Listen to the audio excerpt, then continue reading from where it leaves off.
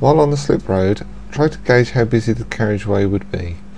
So we're going to build up our speed, check mirrors and give a right turn signal, an occasional glance in the door mirror to actually look for a safe gap to emerge into. If there's a safe gap, keep the speed nice and steady while we're coming onto the carriageway. Cancel your signal, and once we're on the carriageway, stay in the left hand lane to get used to the speed before attempting any overtake manoeuvres.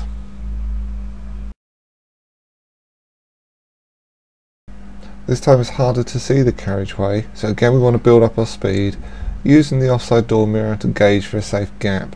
Now we can't move across too soon because of the solid white lines.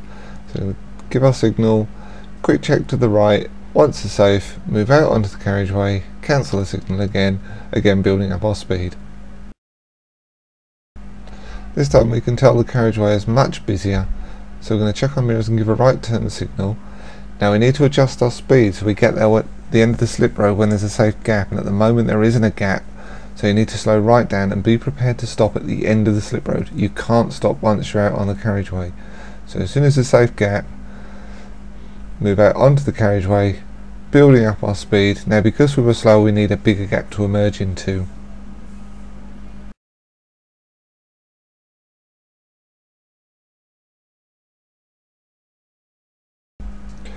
On this clip, the left-hand lane will actually become the left-hand lane of a three-lane dual carriageway. The sign on the left will tell us of that. So we want to use the lane to its full ability, so we're building up our speed, staying away from the, the chevrons on the right hand side. And once we get to the end of the chevrons, we want to make sure that no traffic comes across in front of us.